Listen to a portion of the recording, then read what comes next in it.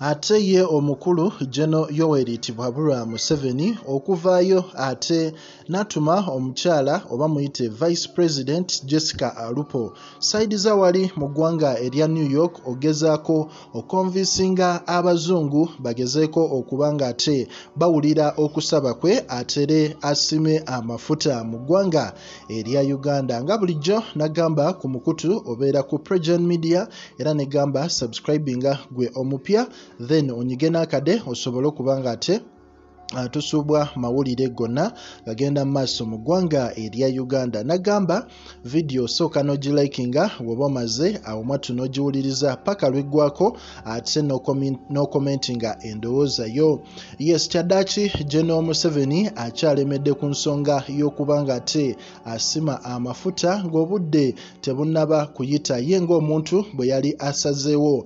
Mu mbeera eyo tibwabulwa yatuma vice president omukyala oyo jessica alupo. Mu samiti emu wali mu ggwanga erya america mu kibuga ekya new york. Omukyala ono mu kutuukayo nga representinze geno museveni yateekawo embeera n'agamba nti byonna bikoleddwa naye ekikolwa ekyogaana uganda okusima amafuta ate ekikolwa kyali beston bias. Nti bonna abasalawo baali bakitaddemu ennugu baali bakitaddemu embeera etali nnungi. Era omukyalo ono n'asaba abakulu bano bagezeeko okonvinsinga european parliament basobole okuba nga ate bakkiriza eggwanga erya uganda liddemu okuba nga ate lisima amafuta.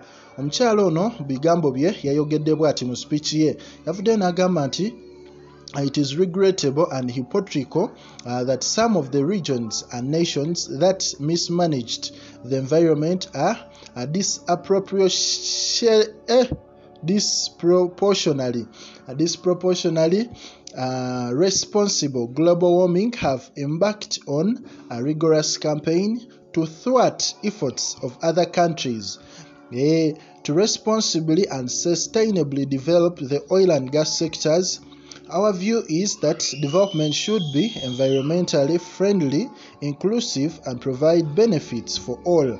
It should leave no one behind. So omukyalo oyo Jessica Alupo omanyi ebintu by'oluzungu bino si bintu byaffe so saagala mweraliikirire naye nga bwe bityo bitera okubeera so omukyalo oyo bw'atyo bwe yavuddeyo n'agezaako konvinsinga abazungu bano ng'ateekawo embeera ey'okuba nti bakkiriza eggwanga erya uganda okuba nga te lisima amafuta. Tulinze tulabe response okuva mu european parliament naye nga bo baali balumye ejjiiko ne bagamba nti teri gwe bagenda kukkiriza kusima amafuta mu ggwanga erya uganda. E, era nga n'abantu naddala bannayuganda abali mu ggwanga erya new york beeyongedde ddala okukola demonstrations naddala ku office wali eya un general assembly. So bwe bityo bwe bikyali tibwabulwa naye alinze obubaka okuva mu bano abakulu bamunnyonnyole oba basobole okuba nga bamukkiriza okusima amafuta ge.